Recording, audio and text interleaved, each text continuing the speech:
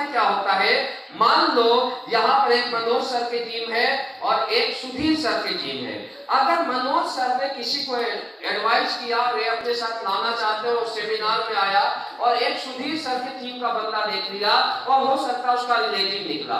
वो क्या बोलता है? अरे ये तो मेरा रिलेटिव है, ये तो मेरा जिगर का टुकड़ा है, ये मनोज सर के साथ कैसे जाएगा? भाई साहब, आज तक जिगर का टुकड़ा नहीं था क्या? ध्यान देना मेरी बात। ये प्रोफेशनल बिज़नेस है। अगर एक बार कोई भी इस तरीके का हरकत किया तो दूसरे का बंदे का दूसरा देना चाहता है तो कंपनी सीधा उसकी आईडी टर्मिनेट करेगी। ध्यान देना और कंपनी में ध्यान देना, आपका डायमंड जो भी बताता है लीगल रूल और खास कर मैं डायमंड को बोलता हूँ डायमंड भी फंस रहे हैं, क्योंकि रूल पता नहीं है। मेरे पास आओ, एक बार बताऊँगा, बार बार नहीं बताऊँगा पीए से पूछो रूल क्या है, मैं पीए इसीलिए रखा हूँ वो आपको रूल रूल को बताएगा और आपको अगर यहाँ पर कामयाब होना है तो कंपनी के रूल के मुताबिक चलना पड़ेगा।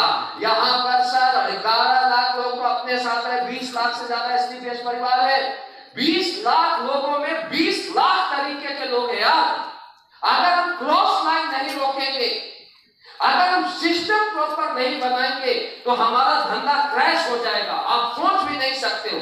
जो अभी 50 का नेटवर्क बनाया है, वो 50 के हिसाब से देखेगा। लेकिन हमें कंपनी को चलाना हमारा पहला प्रायोरिटी है। और कंपनी को चलाने के लिए हमें Sudhir sir, Manoj sir, Vinod sir, सारे लोगों से बाइंडिंग बनवा के चलना पड़ेगा। ध्यान देना, अगर बाइंडिंग टूटी और बाइंडिंग टूटती क्यों है, क्योंकि क्रॉस लाइन इसका बंदा वो छेड़ेगा, उसका बंदा वो छेड़ेगा। कल मैं बताया था, हमने हमेशा को लाइन से रिलेशन बनाया। कभी भी किसी दूसरे के बंदे पर आँख मत उठाना। उसे पानी समझो। समझ आ रहा है मेरी बात? जो आदमी यार एक जगह फेल हो गया, दूसरे जगह कैसे पास हो सकता है? क्या पॉसिबल है? और कंपनी में आईडी भी बंद होगी। दूसरा चीज़, एक बार आपने क्रॉस लाइन कर दिया। आपका पूरी लाइफ उससे क्या हो गया? रिलेशन क्या हो गया? खत्म हो गया। मेरी बात समझ आ रही है? तो आज के बाद क्रॉस लाइन नहीं करना, ये तो आईडी बंद हो जाएगी। कोई भी ऐसे चीज़ होते हैं तो डायमंड से मिलिए और डायमंड उसे समझाइए। हमेशा अगर एक बार अगर आपने सपोर्ट कर दिया तो आपका भी वो एक बार नहीं, एक हज़ार बार सपोर्ट करेगा। तो क्रॉस लाइन नहीं करना आज के बाद। क्लियर है क्लियर है इसके बाद काउंसलिंग हमेशा आपको एक्टिव अपलाइन के टच में रहना है। आपको एक्टिव अपलाइन से अपनी काउंसलिंग करवानी है। हर पॉइंट का डिस्कशन करना है। कोई भी नेगेटिव होते तो काउंसलिंग करना है। आपको भी एक्टिव अपलाइन काउंसलिंग करें। ये आपके अपलाइन का काम होता है तो आपका काउंसलिंग कैसे करेगा? और आप भी अपने टीम का काउंसलिंग ज़रूर करते रहे। मेरी बात समझ आ रही है? कोई भी आदमी काम से नहीं हारता, दिमाग से हारता है। यार, यहाँ बहुत ज़्यादा प्रेशर होता है भागने की दुनिया में, वो पद बता रहा हूँ। अब क्या होता है, जब प्रेशर जो घबराता है ना तो कुछ भी डिसीज़न लेने के लिए तैयार हो जाता है। लेकिन काउंसलिंग एक ऐसी बात है, ऐसे ऐसे लोग जो कि बिज़नेस को फ़ीड कर रहे थे, हम बैठे, आज वो लोग डायमंड है ब्लू डायमंड है। मेरी बात समझ आ रही है? मुझे खुद जाना पड़ा। वो नहीं तो नेगेटिव आदमी है ना। आपके पास नहीं आएगा। आप एक चीज़ समझिए, कोई आदमी लगातार आपसे कांटेक्ट कर रहा है और पाँच दिन में उसे व्हाट्सएप पर रिप्लाई नहीं आ रहा है। समझो नेगेटिव है। मुद्दा समझ आया? आप बैठिए प्रॉपर वे में उसे समझिए काउंसलिंग किस तरीके से होता है काउंसलिंग की बात किया जाए तो सबसे पहले आपको अगले को सुनना है। क्या करना है? अगले को सुनना है। फिर उसके बाद प्रॉपर वे में उसको सही सॉल्यूशन बताना ऐसे नहीं, हवा में। ऐसे नहीं काउंसलिंग मोटिवेशन अलग पार्ट है देन काउंसलिंग अलग पार्ट है। तो उसको जब प्रॉपर आप सही सजेशन दोगे, सही प्लानिंग दोगे तो अगला बंदा क्यों नहीं आगे बढ़ेगा, क्यों नहीं आपसे सेटिस्फाई होगा? समझ आ रहा है? काउंसलिंग कर सकते हो और एडिफिकेशन एडिफिकेशन कल बात हो गया था मेरे ख्याल से? हाँ बात? एडिफिकेशन एक ही चीज़ समझिए। एडिफिकेशन एक बहुत बड़ा पार्ट है। एडिफिकेशन मैं यहाँ पर क्यों पहुँचा? क्योंकि हमने हमेशा अपने कंपनी को एडिफाई किया अपने अपलाइन को एडिफाई किया हमने अपने डाउनलाइन को भी एडिफाई किया हमने अपने प्रोडक्ट को एडिफाई किया।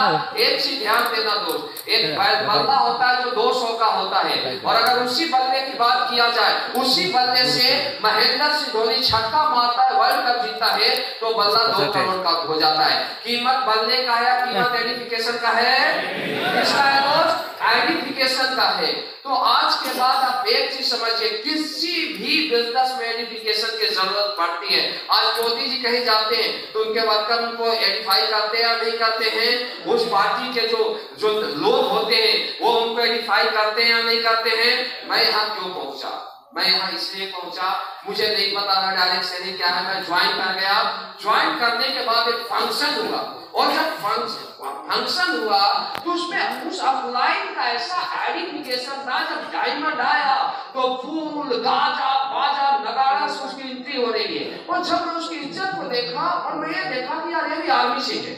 तो मुझे पता चला कि आर्मी वाले लोग का इतना बड़ा इज़्ज़त। तो मेरे माइंड में सेट हो गया कि यार, ये तो पीएम से भी बड़ा आदमी है। मुझे ऐसा लगा था उस समय की मैं बात करता हूँ। मैं उतना बड़ा इज़्ज़त में दुनिया में देखा ही नहीं तो मेरे माइंड में सेट हो गया मुझे डायमंड बनना है। कहाँ से हुआ?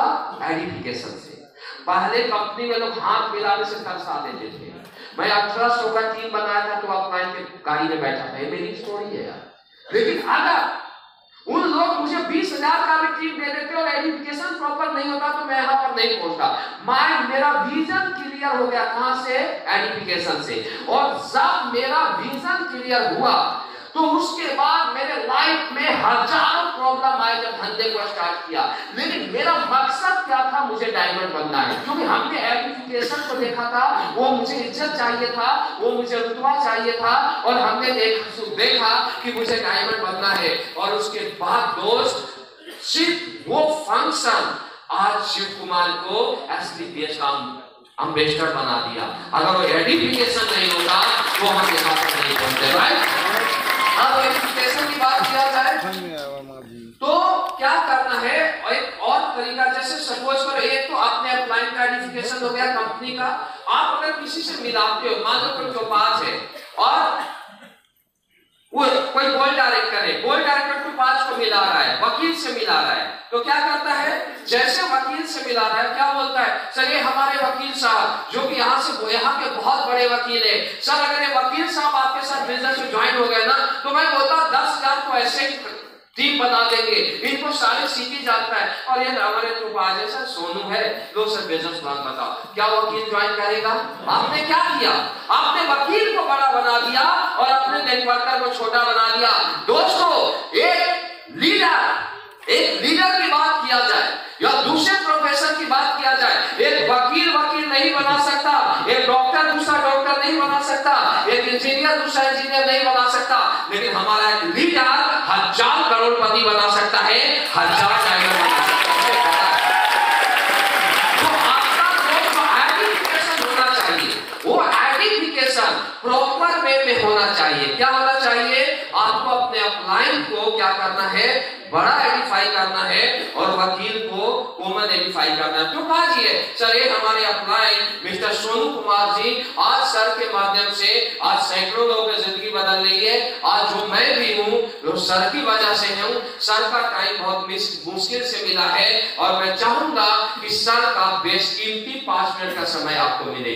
अब जो तो पाँच होगा, वो भी आइडेंटिफाई करेगा अपने गोल्ड को। सर हमारे गोल्ड डायरेक्टर ये हमारे बहुत अच्छे लीडर हैं। ये बिज़नेस के बारे में सब कुछ जानते हैं, लेकिन मैं इधर से गुजर रहा था इन्होंने मुझे कॉल कर दिया और मैं भी आपसे पाँच मिनट के लिए मिलने आ गया, लेकिन ये बिज़नेस के बारे में सब कुछ जानते हैं। आप वकील उसको जानता है, दोनों तरफ़ सर्टिफिकेशन हुआ, वो हंड्रेड परसेंट रिज़ल्ट आएगा। कोई भी आपका अपलाइन आता है, आपको खड़ा हो जाना है। हमेशा अपने सीनियर का रिगार्ड भी एजुकेशन समझ आ रहा है मेरी बात? अपलाइन एक ऐसा चीज़ है, चाहो तो आप उसे एक हज़ार में बेच दो और चाहे तो आप उसे एक करोड़ में बेचो। मैं कभी भी अपने अपलाइन से लोगों को मिलने नहीं गया। ध्यान देना मेरी बात। अब टीम बड़ी होगी बात अलग है। अपलाइन को हमने हमेशा शो पीस बनाया। अपलाइन को हमने केवल स्टेज पर बुलाया। गुरु जी आप हाथ मिला के चले जाना। धंधा तो अरबों का हम निकाल देंगे। तब यहाँ तक पहुँचे लोग समझ आ रहा मेरी बात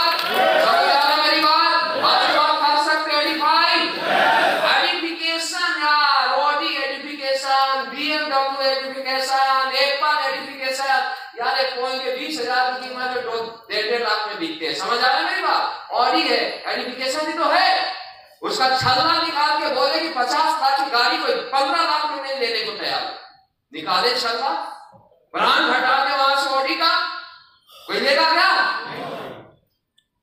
आप जाओगे ना जो कीमत वेरिफिकेशन का। आज के बाद अपने अपलाइन की ब्रांडिंग को कम मत कर देना। ध्यान देना मेरी बात। ब्रांडिंग की ही दुनिया है। ब्रांड का ही कीमत है। और ब्रांड कहाँ से बनता है कोई आइडेंटिफिकेशन से। पहले आप लाइन को आइडेंटिफाई करो टीम ऑटोमेटिक आपका आइडेंटिफिकेशन शुरू